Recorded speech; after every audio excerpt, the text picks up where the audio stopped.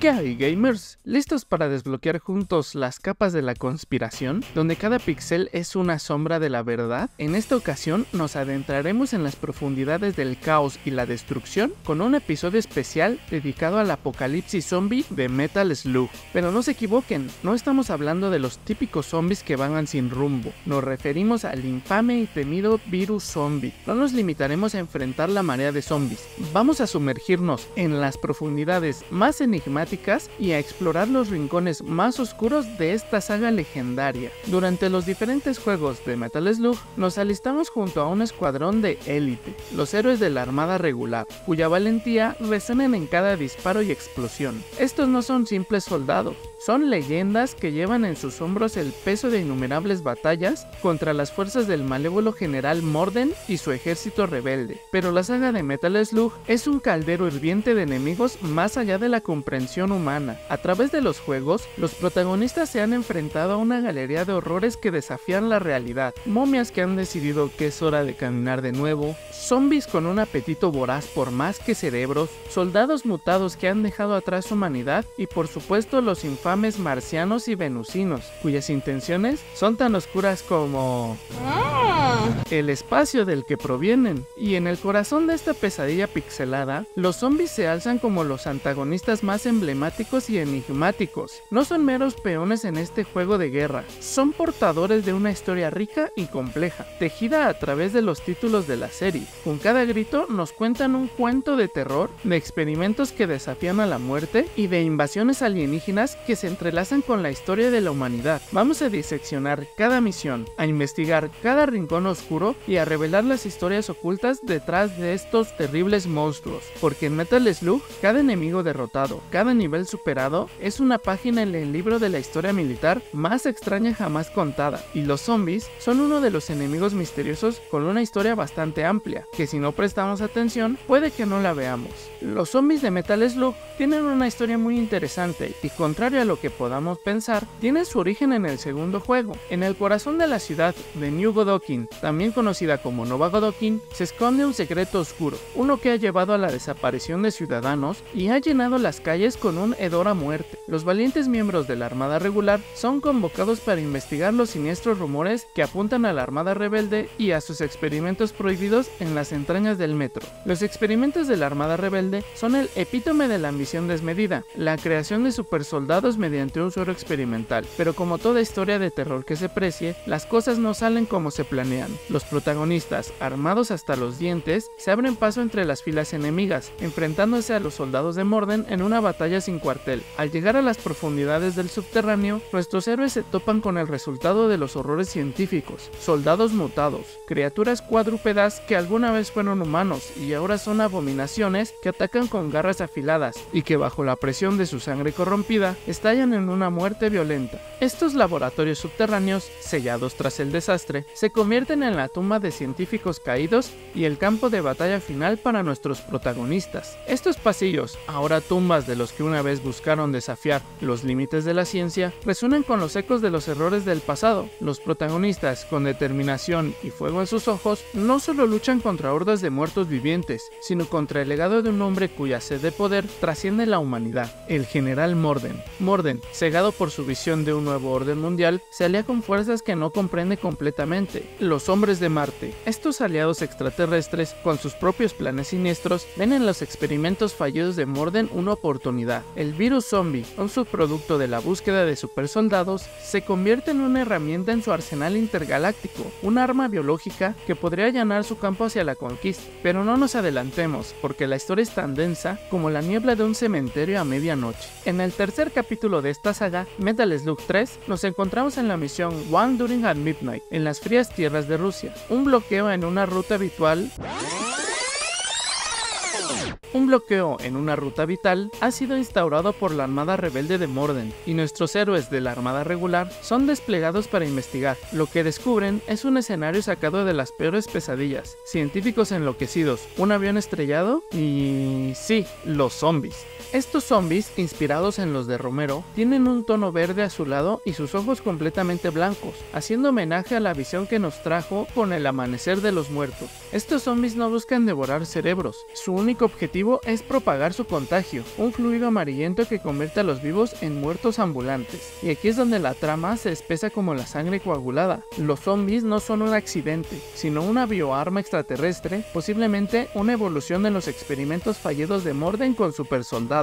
En medio del caos, científicos desquiciados huyen en estampida, alejándose del núcleo del desastre, mientras los soldados se encuentran con una escena que parece sacada de una pesadilla, tiendas de campaña médicas desbordadas y ambulancias que no dan abasto, todo bajo la sombra de un avión siniestrado que yace como un gigante caído. Los zombies, como centinelas de la muerte, patrullan el área, atacando no para alimentarse, sino para propagar su contagio a través de un fluido amarillento que convierte a los supervivientes en uno de ellos. El ejército rebelde, ahora aliado con los no muertos en sus filas, muestra signos de desorden, creando un caos que beneficia a los verdaderos titiriteros de esta macabra obra, los hombres de Marte. Entre los escombros de sus fortificaciones destruidas emergen los Tarmen, infectados especiales más peligrosos y letales. Los protagonistas, determinados a cortar el avance de esta plaga, se adentran en las afueras boscosas, donde se topan con soldados y científicos transformados en criaturas de pesadilla, pero es en las instalaciones rebeldes donde la trama se torna aún más siniestra. Cuatro torres iluminan un meteorito colosal conectado a bombas que parecen extraer algo del subsuelo. Las torres de luz explotan y desencadenan la aparición de los Mono Eyes, entidades alienígenas que emergen del meteorito. Tras un combate feroz, una estructura de piedra emerge, revelando su verdadera naturaleza,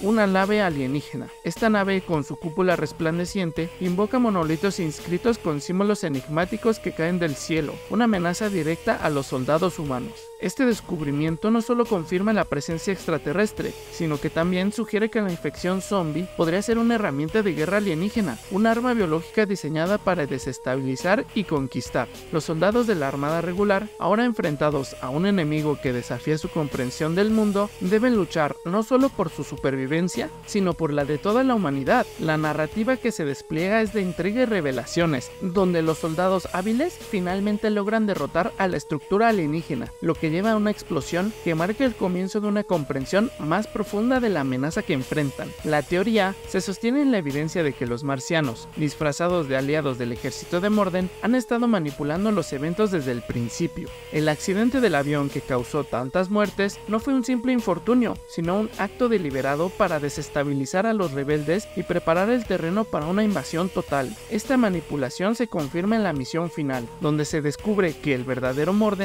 ha sido reemplazado por un impostor marciano y el auténtico ha sido secuestrado. La naturaleza selectiva del virus, que solo infecta a los humanos, es otro indicio de su origen extraterrestre y de su propósito, sumir al planeta en el caos para facilitar la conquista marciana. Esta selectividad se ve en la inmunidad de los animales y otras criaturas no humanas, como los hombres de las nieves, que son atacados pero no infectados por los zombies. El clímax del juego nos lleva a la madre nodriza marciana, donde se revela que los alienígenas han estado clonando humanos, incluyendo a los compañeros de los jugadores y al general Morden. Esto no solo muestra la capacidad tecnológica avanzada de los hombres de Marte, sino también su desdén por la vida humana y su disposición a usar cualquier medio para lograr sus fines. En resumen, lo que parecía ser una típica infección zombie en un videojuego de acción se revela como una compleja trama de invasión y guerra biológica, con los marcianos en el centro de la conspiración, utilizando la biotecnología para crear un ejército de no muertos y clonar seres humanos,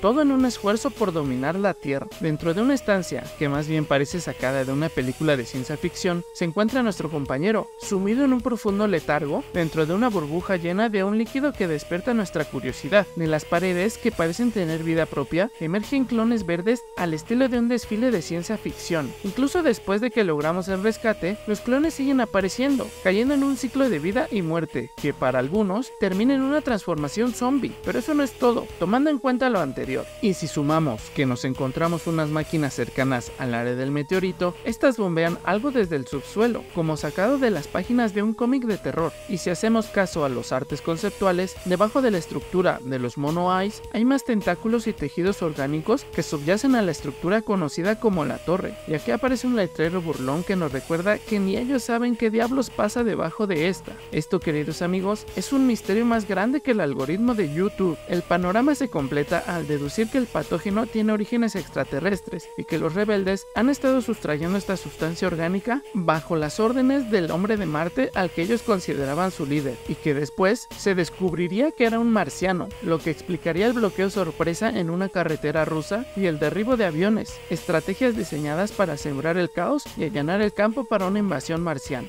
En el cuarto episodio de la saga, Metal Slug 4, se presenta una versión sintética del virus zombie, un líquido amarillo verdoso empleado por un robot llamado Big John para convertir a los humanos en zombie en un parque de atracciones en Canadá. Es probable que el ejército rebelde compartiera sus hallazgos con el sindicato Amadeus, permitiéndoles crear esta variante del virus independiente de la infraestructura extraterrestre. Sin embargo, hay luz al final del túnel. El ejército rebelde desarrolló un antídoto contra la zombificación, los mismos medicamentos que encontramos en el juego y que nos permite revertir la infección. Este conocimiento del antídoto también ha llegado al ejército regular, lo que se puede ver si terminamos la misión en estado zombie. Nos recogerán en una jaula para luego regresar en misiones posteriores en estado normal. El virus zombie de Metal Slug es altamente contagioso, con zombies que buscan propagar su infección, expulsando una sustancia amarilla sin recurrir a la mordida. En Metal Slug 3 se ve como un rayo de la estructura alienígena acelera esta transformación, creando criaturas de piel azulada y grisácea que son notoriamente resistentes y pueden soportar múltiples disparos. En el universo de Metal Slug nos topamos con tres variantes de infectados que añaden una capa extra de desafío y estrategia al juego. Primero están los soldados zombies, que no son los típicos andantes lentos de las pesadillas tradicionales. Estos antiguos rebeldes se transforman en máquinas de velocidad, con una resistencia que los hace casi invulnerables a los ataques comunes y una táctica de ataque suicida que los hace explotar al contacto, buscando infectar a sus objetivos con los restos. Luego vienen los zombies clonados, verdaderos tanques entre los no muertos. Creados a partir de los protagonistas del juego o de nuestros aliados caídos, estos clones no ganarán ninguna carrera, pero su fortaleza es inigualable. Y para hacer las cosas aún más interesantes, tienen un ataque característico, el vómito destructivo zombie, una maniobra que solo los protagonistas infectados pueden ejecutar y que sin duda deja una impresión duradera en el campo de batalla. Por último, pero no menos temible, son los zombies Starmen, un homenaje directo a la clásica película Return of the Living Dead. Estos infectados no solo son una pesadilla visual con su piel de color amarillo y sus cráneos desprovistos de cabello, sino que también son los más rápidos y resistentes. Su habilidad para lanzar líquido infeccioso a largas distancias los convierte en un enemigo letal que puede cambiar las tornas de un encuentro en segundos.